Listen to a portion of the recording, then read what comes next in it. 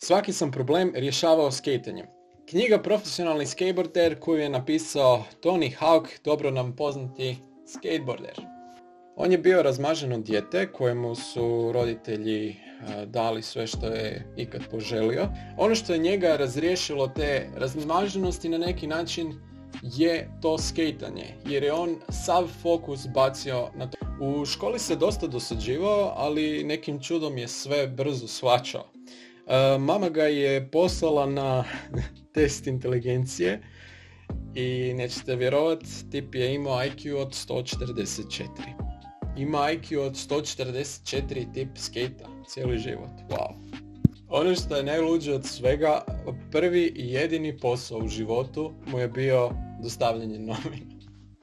Bio je toliko mršav da nije mogao izvoditi trikove poput ostalih, pa bi mu se ostali kolege smijali i nazivali ga cirkusnim skaterom. Radio je jako pametne stvari e, prije samih natjecanja. Znao bi na mapi skateparka e, crtati i vizualizirati gdje će koji trik izvesti. E, počeo je ići čak i u više različitih skateparka kako bi se na neki način uvježbao na svim različitim terenima. Odjedanput se uh, sve što se tiče skejtanja općenito u svijetu raspalo, skatera nije bilo, propadale su zajednice, zatvarali su se skateparci. Ono što mi nikako nije išlo sa Tony Hawkom je to da je kao mali nekada svirao violinu. U školi je bio Uh, full nesretan, svi su ga maltretirali. Čak su mu se i profesionalci rugali uh, na te trikove koje je on izvodio i taj drugi stil koji je on furao, ali to mu je na neki način poslije išlo uh, u korist. Ljudi su mu se i dalje rugali vezano za taj njegov stil izvođenja trikova, stil skejtanja općenito, drugi skateri su izgledali nekako prirodnije, kao da surfaju i bilo ih je na neki način ljepše zagledati. Pomirio se s time da ne može promijeniti stil, pošto se već na taj stil naučio i pošto je bio takve mršave građe pa nije mogao izvoditi neke drugačije trikove.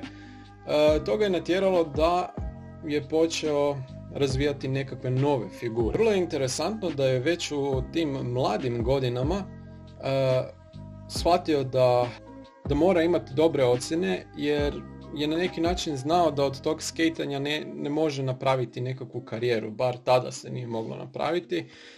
E, makar je on pobjeđivao na ogromno puno natjecanja i makar je od sponzora dobivao više novaca nego njegovi roditelji zajedno. Tony i njegova grupa skatera bili su jednom prilikom pozvani u Švedsku da dođu proučavati da dođu poučavati djecu. Bili su izvani daleko od grada pa su kupili polovni Peugeot za 500 eura.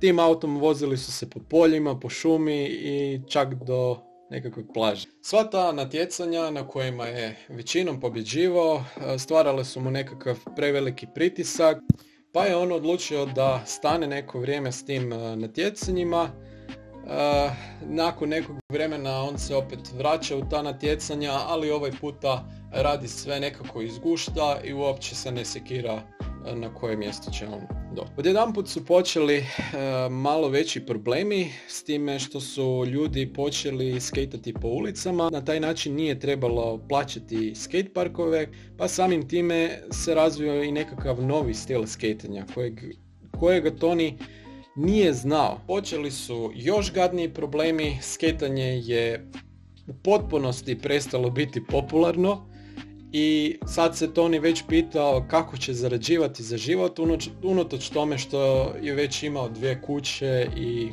ogromno puno novaca. Unatoč e, tome što su sve uh, skaterske tvrtke i zajednice i natjecanja počeli propadati, on je odlučio osnovati svoju tvrtku koja nije baš nešto dobro funkcionirala. Sva sreća pa je Toni kupio u početku dvije kuće pa je sad jednu prodao samo da preživi. Uh, dok njegova tvrtka Birdhouse je teško zarađivala, a ta tvrtka se bavila sa montažom filmova. I dalje je sve propadalo u vezi e, svega sa skatanjem, Tony se čak razvio sa svojom ženom. Citirat ću jednu rečenicu koja mi se jako svidjela. Jedan sam mjesec bio na vrhu svijeta, sretniji nego ikada, sljedeći bih već pao u nekakvu depresiju. Nažalost, u to vrijeme kada je sve u vezi sketanja propadalo, desila se još jedna velika tragedija, njemu otac umire. Njegov trik uh, 900 uh, pokušavao je izvesti više od jednog desetljeća. To sreća pa se uh, pojavljuju X Games natjecanja koja su ga na neki način vratila u nekakvu normalu. Uh, imao je problema sa uh, trikovima koje je htio izvesti. Uh, najveće probleme u trikovima je imao kod izvođenja petlje i tog trika 900.